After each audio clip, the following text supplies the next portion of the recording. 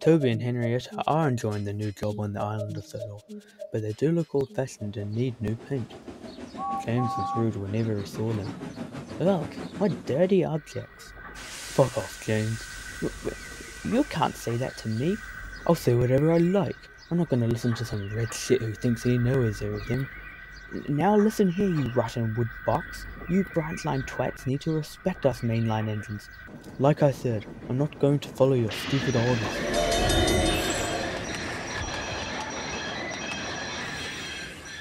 What the fuck just happened? I've no clue, but you still look like a piece of scrap. Oh, go to hell, you wooden box on the wheels. Uh, so, um, why are you red anyways? I'm ready for anything. You'll never see me dirty like you and your bloody hen house. Oh yeah? What about the time you crashed into a field full of cow shit, hmm? Uh, d- uh, d- d- go, go to hell!